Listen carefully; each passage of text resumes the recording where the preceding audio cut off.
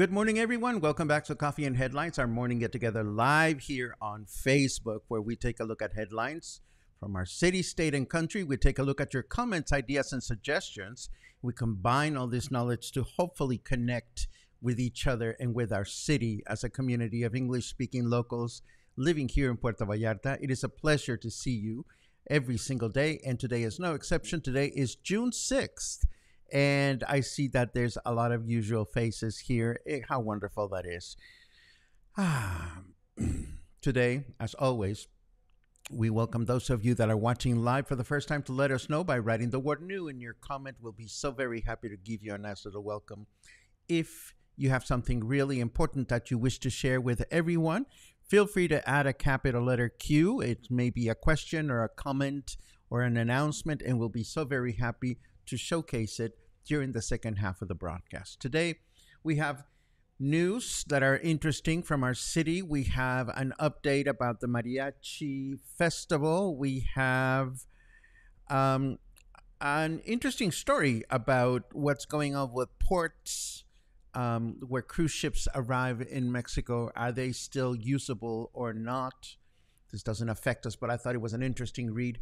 And I have a question that we're going to talk about later on.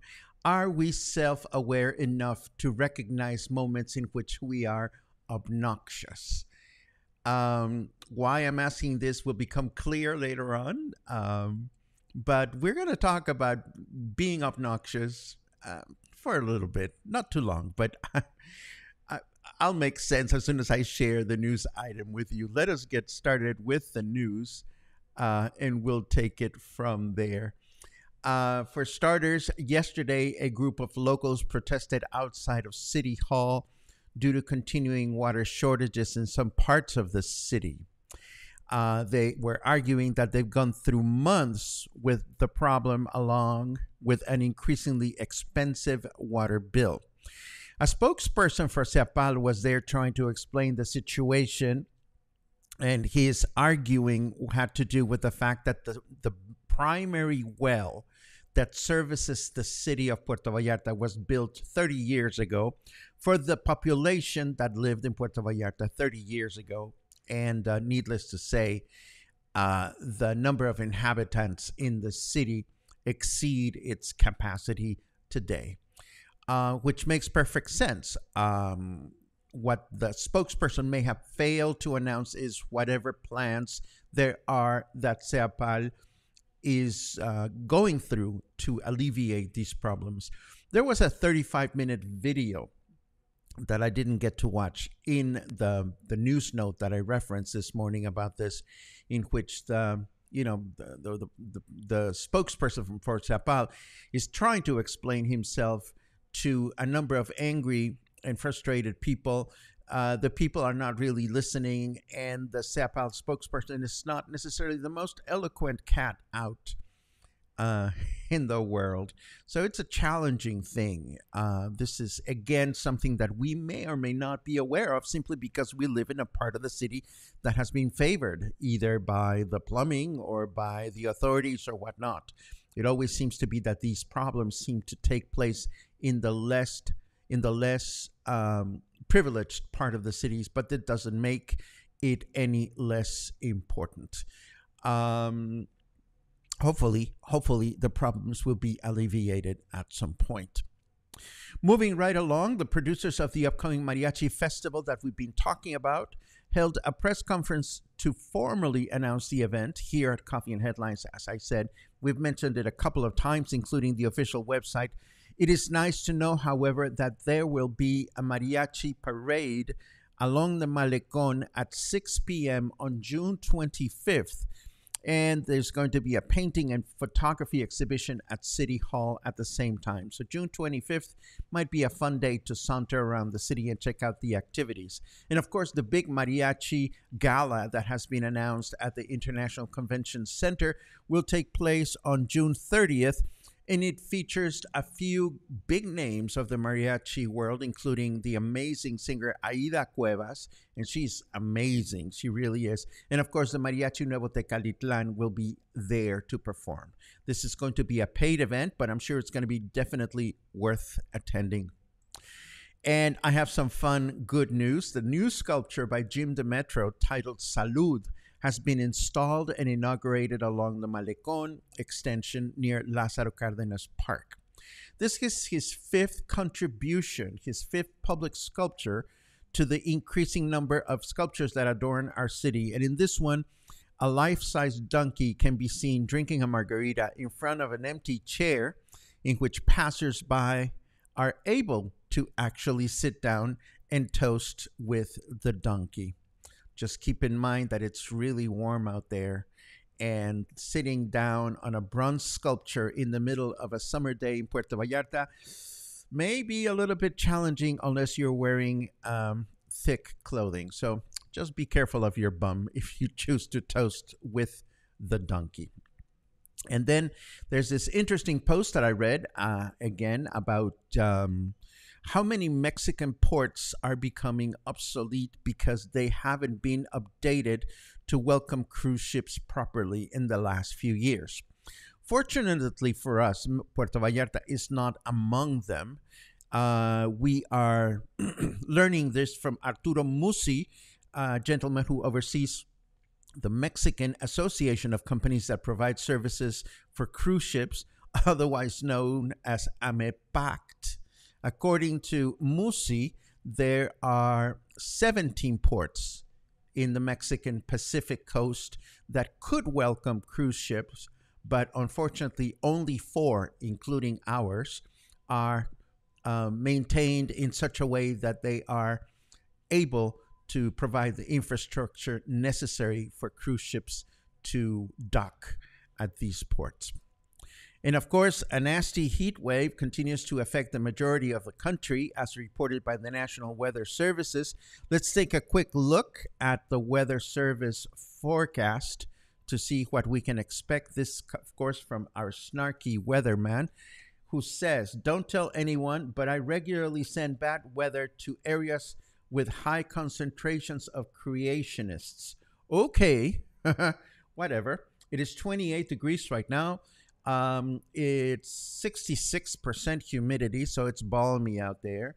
And our temperature in Fahrenheit degrees is 82 degrees. Our weather forecast for today says we're going to have clear skies in the morning with overcast skies in the afternoon, a high of 31 and a low of 24. Then tomorrow, Wednesday, will be a humid day with overcast skies, plus some patches of sun shining through an increased chance of precipitation of 21%, a high of 31 and a low of 24. We had forecasted yesterday that it might rain on Wednesday, so we keep our fingers crossed. And then on Thursday, we will have mostly cloudy skies in the morning with mostly clear skies in the afternoon and a lower chance of rain, a high temperature of 30 and a low of 23. So if it rains this week, it seems like it might be on Wednesday, so keep your fingers crossed. moving right along, um, I have found out that there's another perk uh, to space travel. You know, we know that you get instant recognition, you get a Barbie doll designed after you, and also you get the keys to a city. This happened to Katya Echazarreta, the first woman astronaut from Mexico. We know that she took one of those flights in which you go up there and she went, whoop, there's the sky and there's the earth. And she came back 20 minutes later. She was given the keys to Guadalajara in a ceremony that took place yesterday, during which she announced that space travel opportunities to Mexicans are coming. So, all I can say about that is brace yourselves, stock up on Dramamine, and make sure you have a hefty bank account. Moving right along, I want to let you know that our friends from Hecho a Mano are doing it again. They're organizing yet another pop up art show, and this time it's taking place at a restaurant that I haven't gone to. So it's a perfect excuse to go and check it out. It's going to be on Friday, June 23rd from 4 to 11 p.m. at Casa Guadalajara Bar and Grill. This is a fairly new Mexican restaurant that opened on Fluvial Vallarta Avenue. There used to be another Mexican restaurant there. I haven't checked out the new one, so of course I'm going to try my best to be present. Again, this is what Hecho Mano PV organizes on an ongoing basis to put us, to put us in direct contact with uh, contact, bleh, contact with um, creators of handmade crafts that live here in Puerto Vallarta. Um, so it's always a great opportunity to support small businesses.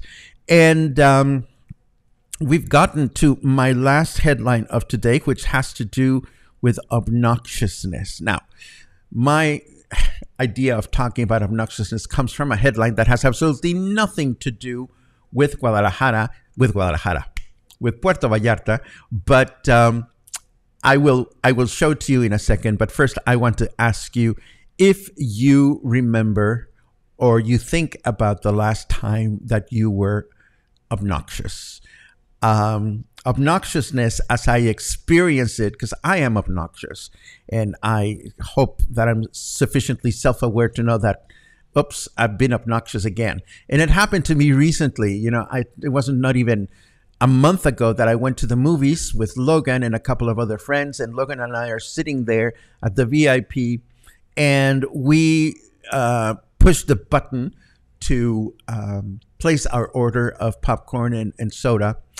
And we were taken care of by this young man who you know made my gaydar go tin tin tin tin tin tin tin. So so we started flirting with him, not offensively, I think but um, it it was one of those strange things in which I um, he told us that he was not feeling well. He had a little bit of a chest cold, so we kept saying to him, you know, I we hope you feel better, da da da da da, and then I would throw in some kind of uh, you know queer joke and so forth and so on, and then I noticed that this gentleman. Uh, when it was time to deliver the food, he didn't come back, and I didn't see him at all. And I, uh, I remember thinking to myself, you know, Paco, were you obnoxious to a degree that you were offensive? And I don't have an answer about this. And of course, I didn't lose sleep over it, but the memory of this stayed with me. And why am I telling you this? Well, because I'm going to show you a news item about a person that defended herself from a very obnoxious person. And the only reason why I share my own personal struggle with occasional obnoxiousness is because I do think that many of us have a tendency to be obnoxious from time to time or be the victims of or to suffer from an obnoxious person. So, by saying this out loud, I'm just hoping that my obnoxiousness uh, will stay in check. Now, you're probably wondering, what the fuck is he talking about? And why is he talking about this? And what happened to whom? And so forth and so on. And here is the news item that has absolutely nothing to do with Puerto Vallarta. But apparently, this um, weather, not weather, the sports reporter by the name of Samantha Rivera is being hailed. She was covering a game uh, in Miami, I believe. Yes, she seems to be in Miami and she was going about her business in a very uh, festive way. And apparently, some obnoxious dude tried to get on camera with her and go, "Oh, go team, go team!" and and if you look at the video because there's a video attached to it she was so poised and she remained so cool but essentially all she did is she took her arm and just pushed him out without ever losing sight of the camera and she did so in the most professional way and again this has nothing to do with us which has nothing to do with puerto vallarta but it did remind me of times in which I have been inadvertently obnoxious or times in which I have suffered with obnoxious people around me. How do you feel about that? If you have any comments about obnoxiousness, uh, feel free to let me know. I am going to hit the chit chat button to see exactly where everybody is at. And as always, we'll be looking for good mornings and we were going to be looking for cues cues next to your comments. I see a lot of good mornings today, which is really wonderful. Uh, yes, yeah, still no rain, but we are keeping our fingers crossed. Toody doo doo doo. Toody doo doo doo. Uh, Bill says it hasn't rained yet in Versalles, and that is true. Uh, let's see what else we have. Joshua is here. Hello, Joshua. I hope you're recovering from your questionable haircut. it's always great to see you, and I look forward to seeing you guys this afternoon. This afternoon, I'm getting together with Joshua and Lucy of Hecho a Mano. They're going to tell me about some new exciting projects that they are uh, planning, and I can't wait to hear about all the work that they're doing. Um, Claude reports there was no water on Sunday at the airport. That is a scary place to not have water. And Mihal cue. Speaking of water shortages, a great movie, Tank Girl, based on comic, came out in the 90s. Highly recommended. Lori Petty is so good in the role fighting for water supply controlled by Mega World Corporation. I've never heard of this movie before, but I'm definitely going to look for it after the broadcast. Thank you so much for that suggestion. Um, and Barbara has a comment about having enjoyed a number of lovely evenings at Casa Guadalajara. This is the restaurant we just talked about, so I'm excited to uh, to see this. And of course, here's Lucy saying it's always a pleasure to have you visiting us. Lucy has worked so hard to promote her brand Hecho a Mano, and it makes me very, very happy uh, that she's doing well. And of course, we will share the link to the next event in the show notes as always. Uh, let's see what else we have. Here's another cue. Mark asks, Do you know if the Malecon has been cleaned? I took a bus down towards the Malecon just the other day, and it seems like it has been cleaned. Uh, whether it smells funny or not, I didn't. I didn't walk through the Malecon, unfortunately. Uh,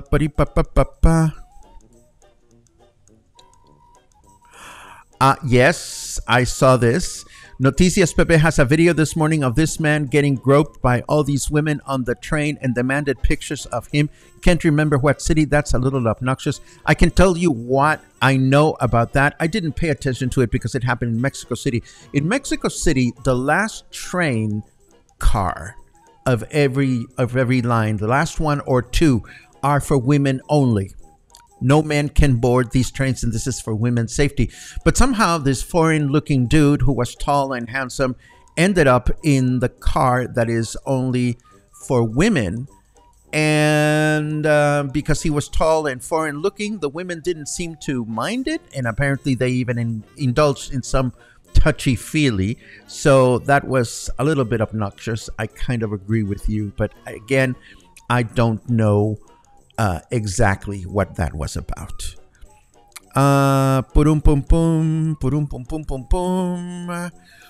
Bill had adds another comment. We should be more conscious about how our words and actions affect others. You have no idea what people are dealing with. A little kindness and encouragement at the right moment can mean so much to someone. I, I totally hear you. I totally hear you, and um, you know, and that's that's obnoxiousness. I mean, I think the last time I remember somebody did something obnoxious uh, to me was well, uh, I'd rather not talk about it. Well, I'm going to talk about the second from last one because the, the last one had to do with coffee and headlines, and I don't want to offend anyone. But the second from last one, I was just minding my own business, shooting a video in the Malecon with my camera on a tripod, and I was trying to get a really good shot. And there were these tourists that kept walking back and forth, and they kept making signs and doing this, that, and the other. And uh, you know, you think you're being funny, but at the end of the day, dude, I was just trying to do my work. I was trying to earn a living. So, you know, it is one of those things. Anyhow, this is what we had um, we had for today. I don't see many comments about obnoxiousness. Maybe you are not obnoxious, which is wonderful. If you are never obnoxious, please tell me some advice because occasionally I cannot manage my own obnoxiousness until it's come out of my mouth or my actions. So I would appreciate any help I can get. Thank you for joining me today, and we'll be back tomorrow again for more coffee and headlines and insight and all kinds of obnoxious content. Have a good one.